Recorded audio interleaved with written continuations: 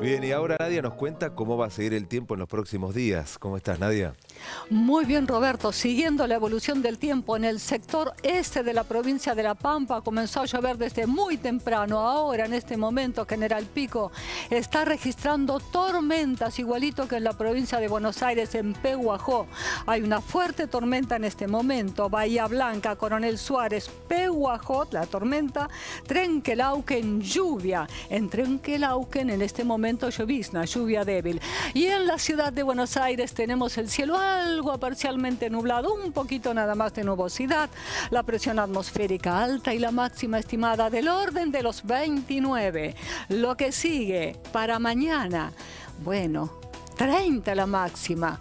Poquitita nubosidad, ¿eh? nada, nada para preocuparse. Viernes se va un poquito más arriba la temperatura, 31 sábado, y llega la nubosidad, llega el tiempo inestable, aumenta la humedad, la temperatura se mantiene allí en 31, pero el sábado se lo confirmamos mañana si llueve o no llueve.